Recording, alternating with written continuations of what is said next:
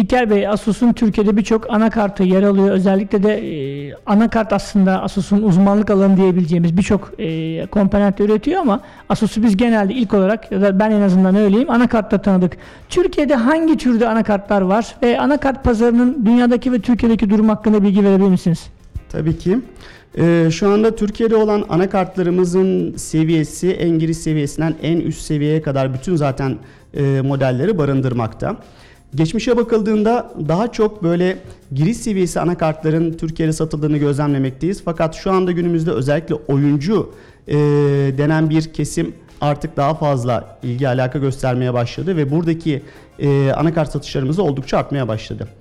Ee, 2007'den itibaren siz de biliyorsunuz anakart pazarında bir düşüş söz konusu oldu. Özellikle notebook, netbook ve tablet pazarından e, kayıplar söz konusu oldu anakart toplama PC pazarına. Fakat şu anda bakıldığında geçen seneden itibaren 650 bin adetlik bir e, genel bir anakart pazarından bahsedebiliriz ve önümüzdeki 5 sene boyunca da muhtemelen bu stabil olarak bu şekilde devam edecektir diye öngörüyoruz.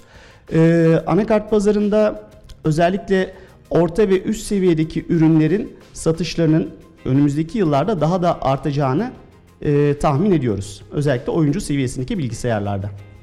Şimdi anakart tabii anakart deyince aklımıza bir, bir devre geliyor üzerinde bir sürü komponentin olduğu ve diğer parçaları da e, birleştirdiğimiz ama e, o taraftaki yönelimler ne tarafa gidiyor? Yani sadece standart bir işte ATX kasa üzerinden mi gidecek yoksa farklı formatlarda girecek bir şey içine veya giriyor mu?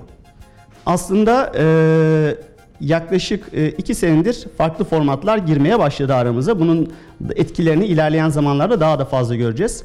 Özellikle biliyorsunuz sizde son 2-3 senedir all-in-one bilgisayarlar çok fazla çevremizde görünmeye başlandı.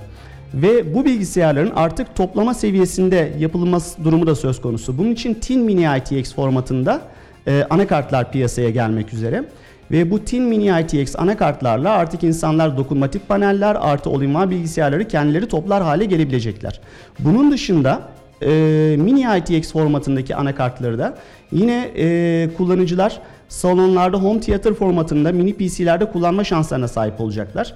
Geçmişte ATX ve Micro ATX diye iki tane temel e, kart var iken artık Tin Mini ITX ve Mini ITX formatında artı iki daha hayatımıza girdi ve e, özellikle veri standardının ilerleyen zamanlarda daha da yüksek seviyelere çıkacak olmasıyla bizim buradaki yatırımlarımızın geri dönüşünün olacağını önemsiyoruz. Özellikle USB 3.0 artık hayatımıza çok üst seviyede girmeye başlayacak ilerleyen zamanlarda daha da fazla göreceğiz ve böylelikle mini ITX formatındaki anakartları e, kullanıcılar daha fazla tercih eder olacaklar. Şimdi benim e, merak ettiğim bir şey de var. Şimdi Asus'u biz dediğim gibi az önce de sohbetimizin başında da söylediğim gibi anakartla tanıdık ama neden Asus anakart tercih etmeliyiz? Yani ben bir son kullanıcı olarak niye Asus alayım, niye başka marka almayayım? Bunu bana e, bir en azından yetkili bir ağız olarak söyleyebilir misiniz? Öncelikle servis. Çünkü e, bir ürünü aldığınız zaman o ürüne olan inancınız e, ürünün kalitesiyle doğru orantılıdır. Bir ürünü aldığınız zaman siz bunu servise ne kadar az gönderirseniz veyahut olur da bir arıza bir sıkıntınız olduğunda servisten olumlu geri dönüşü en kısa zamanda alırsanız bu sizin için çok büyük bir avantajdır. Bunun dışında geri dönüş oranı oldukça düşük çünkü tamamen kullanmış olduğu komponentlerin üst seviye olmasıyla alakalı. Ee, çok yüksek seviyede bütün e, çoğu ürün portföyümüzde katı kapasitör kullanılıyor. Keza e, komponent kalitesi üst seviyede ve bundan dolayı da arıza oranı oldukça düşük. Ee, bazı ürünlere bakıldığında orta ve üst seviyedeki ürünlerde ürünün maliyetinin biraz yüksek olduğunu gözlemleyebilirsiniz. Fakat burada kullanıcıların özellikle bakması gereken şey toplam satın alma maliyeti. Yani siz bir ürüne sahip olduğunuz zaman bu ürünü kaç defa servise götürüyorsunuz, başınız kaç defa ağrıyor veya ne bileyim bu ürünü ne kadar uzun süre kullanabiliyorsunuz gibi analizleri yaptıktan sonra aslında vermiş oldukları meblağın o kadar fazla yüksek olmadığını da farkına varacaklardır. Bundan dolayı Asus anakart. Asus'un e, az önce de siz söylediğiniz gibi özellikle e, üst seviye anakartlarının satılıyor olmasının en önemli sebeplerinden bir tanesi nedir? Bu konuda bize bilgi verebilir misiniz? Ee, şimdi siz de biliyorsunuz özellikle üst seviye anakartlarda çok yüksek seviyede bir pazar payımız var. Genelde %50'nin üzerinde fakat üst seviye anakartlardaki pazar payımız %70'in üzerinde. Ee, burada Sabertooth serisi dediğimiz e, TAF özelliği olan yani anakartın üzerine tamamen kapatan bir anakart tasarımımız var. Öncelikle bir tane örnek vermem gerekirse bu anakartın özelliği üzerindeki komponentlerin bütün tozdan veya dış etkenlerden engel e, etkilenmesini engelliyor ve 5 yıllık bir garantisi söz konusu Sabertooth anakartların.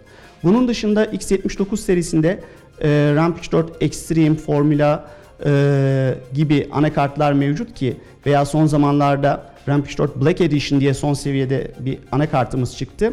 E, bu anakartlardaki özellikler ise çok çok ayırt edici. Örneğin bunların tamamında Wi-Fi, Bluetooth artı NFC teknolojilerini bulabilme şansına sahip kullanıcılar. NFC'yi biliyorsunuz e, bilgisayarınıza güvenlik açısından her türlü erişimi siz bir tane ufak bir stick sayesinde yapabiliyorsunuz ve bu sayede sizin izniniz olmadan hiç kimse bilgisayarınıza giriş çıkış yapamıyor veya Wi-Fi teknolojisini zaten e, Asus ilk zamanlarda getirmişti. Yine aynı şekilde üst seviye anakartlarında kullanmaya devam ediyor.